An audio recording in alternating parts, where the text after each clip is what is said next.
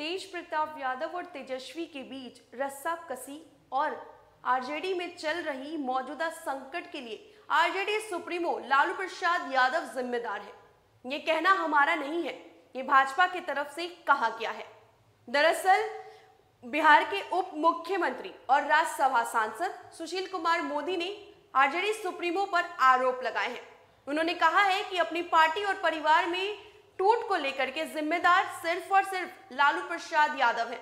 उन्होंने कभी भी अपने सार्वजनिक जीवन में अनुशासन और मर्यादा का पालन नहीं किया।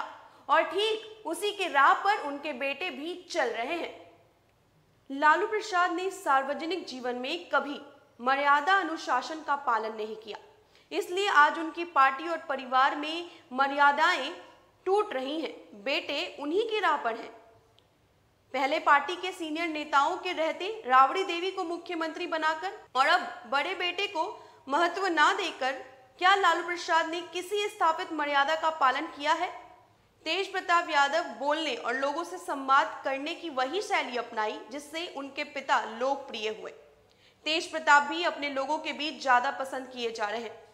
इससे जिनको तकलीफ़ हुई होगी, वो उन्हें किनारे करने की जोड़ तोड़ कर रहे हैं। वहीं कला संस्कृति मंत्री हैं आलोक रंजन झा। उन्होंने कहा है कि प्रदेश में पंद्रह साल राजद की सरकार रही, जिसके मुखिया लालू प्रसाद यादव थे। उन्होंने बिहार की जनता से ज़्यादा चिंता अपने परिवार की की, लेकिन आज उसी राजद में राजनीतिक वर्चस्व की लड़ाई शुरू हो गई है, जिस वजह से राजद डूब रहा है। आलोक झा ने शनिवार को भाजपा के सहयोग कार्यक्रम के बाद मीडिया से बातचीत करते दौरान ये कहा। उन्होंने कहा है कि आज राजद डूबने की कगार पर पहुँच गया है। उनका कहना है कि लालू के दोनों पुत्र आज पार्टी में अपने अधिकारों के लिए संघर्ष कर रहे हैं। गौरतलब हो कि आरजेडी में छिड़ा घमासान अब जग ज़ाहिर हो चुका है। तेजस्वी और तेज प्रताप यादव बिल्कुल आमने सामने आ चुके हैं।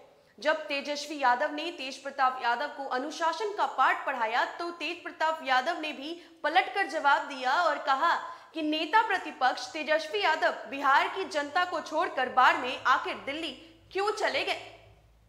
आपको बता दें कि जहाँ पर तेज प्रताप यादव और जगदानंद से शुरू हुआ ये लड़ाई, अब तेजस्वी यादव तक जा पहुँचा है। कहा तो ये भी जा रहा है कि आज का दिन, रक्षाबंधन का दिन पूरे लालू परिवार और आरजेडी के लिए बेहद अहम होने जा रहा है। क्योंकि बीते दिनों तेजस्वी यादव दिल्ली पहुँचे, उसके बाद तेज प्रताप यादव भी दिल्ली पहुँच चुके हैं। और आज लालू यादव के सामने फैसला होगा।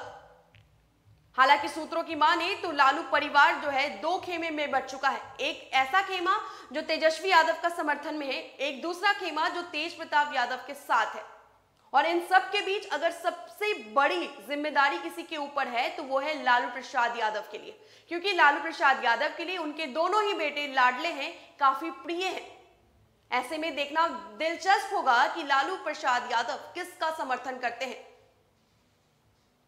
आपको बता दें कि इन सब के बीच भाजपा की तरफ़ से जो कुछ भी आरजेडी और पूरे लालू परिवार में चल रहा है, उसके लिए जिम्मेदार आरजेडी सुप्रीमो को ठहराया गया है।